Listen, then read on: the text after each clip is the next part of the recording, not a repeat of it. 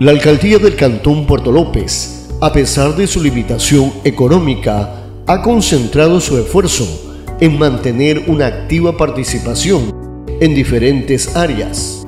Y hablar de un montón de cosas que podrían generar ingresos para Puerto López, pero no hemos sido atendidos. Y no ha sido falta de gestión, no, hemos gestionado.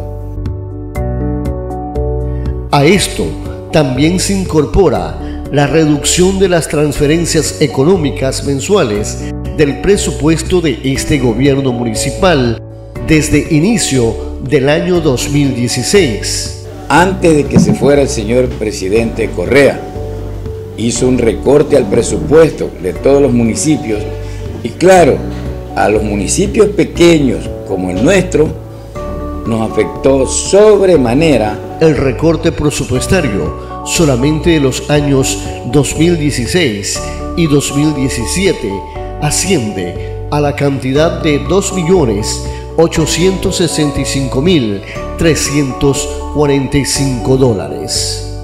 No afectó tanto el recorte a muchísimas ciudades, diría yo a la mayor parte, porque incluso algunos han de decir, pero ¿y cómo Jaramillo si Jaramillo también es más o menos la misma época de que se hizo Cantón Puerto López? Claro, pero es que no saben la diferencia, que Jaramillo maneja cualquier cantidad de industria, pues.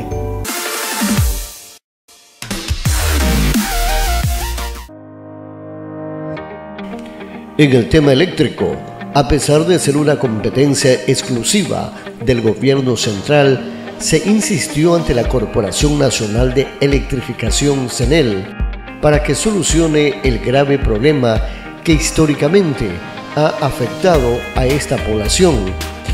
Este es un pedido que veníamos realizando desde hace algunos años atrás. Cuando ingresamos en el 2014, inmediatamente nos pusimos al tanto de los proyectos que quedaban en marcha y aquellos pedidos que no habían sido escuchados. Uno de esos pedidos fue este. Luego de varias reuniones de trabajo del gobierno municipal, se concretó el financiamiento para la construcción de la subestación de transmisión de energía eléctrica para el Cantón Puerto López.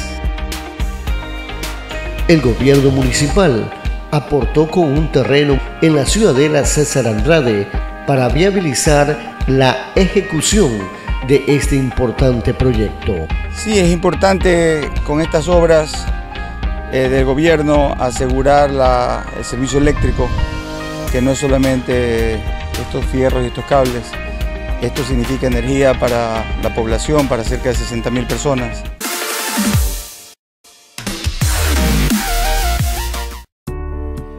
A inicios del año se planificó la realización de una serie de actividades culturales que permitan rescatar la memoria histórica, recuperar hábitos buenos y saludables, propender en niños y jóvenes el amor por la lectura y el conocimiento de personajes que han aportado considerablemente en el desarrollo social, económico, deportivo y que son ejemplo para las futuras generaciones.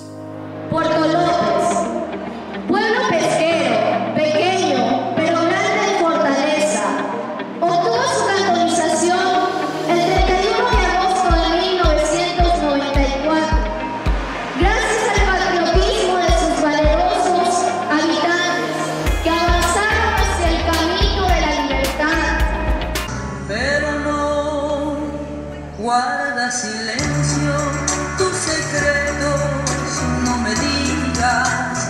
Sigue en tu alma de esperanza, defiendo sueños de almíbar.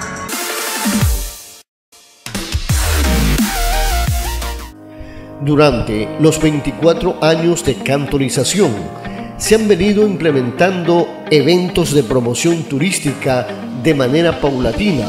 Dios nos ha puesto en un momento estelar donde todas las voluntades nos hemos unificado. En la actualidad se realizan 12 eventos durante el año. Dentro de ellos, uno de mayor trascendencia es el evento de Festival de Ballenas Jorobadas y su programa de apadrinamiento con la incursión de personalidades en el ámbito político y artístico. Hoy estamos ya siendo parte de este evento mágico, de este evento maravilloso. Y estamos aquí para desde el lugar mismo hacer un llamado a todo el Ecuador, hacer un llamado a los turistas extranjeros también, para que no se pierdan esta posibilidad de vivir algo mágico y vivo al mismo tiempo. Y una que ha llamado el interés en varias provincias, la promoción turística en bicicleta. Estrechar estos lazos de amistad, de confraternidad con el municipio de Puerto López para poder promocionar no solamente eh, el Festival de las Ballenas, sino también que ustedes sean nuestros artífices para poder promocionar también el turismo de nuestra Amazonía.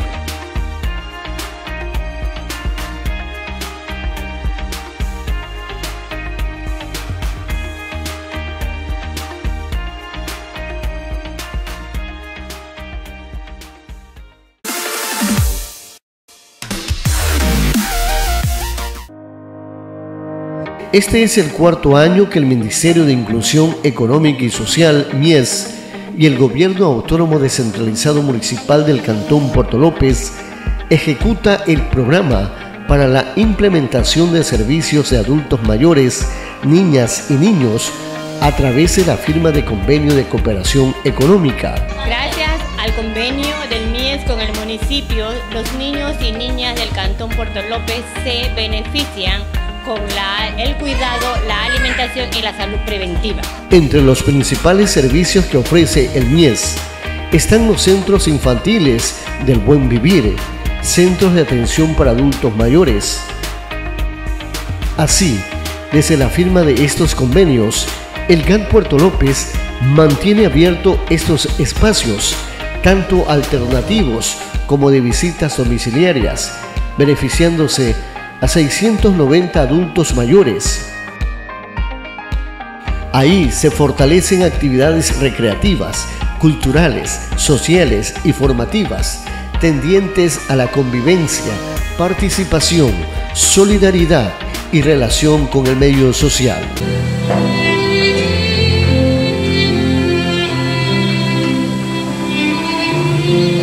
Ha sido fundamental trabajar estos cuatro años eh, fortaleciendo mucho a nuestros niños, a nuestros adultos mayores y el programa que tenemos eh, con discapacidad.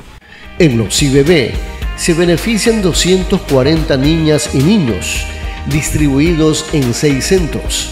Un servicio gratuito para familias de escasos recursos económicos o madres y padres de familia que por sus labores no pueden atender a sus hijos.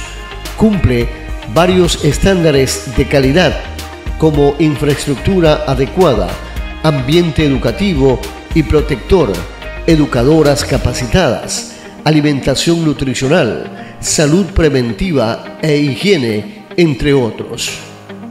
El financiamiento para los grupos de atención prioritaria en este año asciende a 499.513 dólares.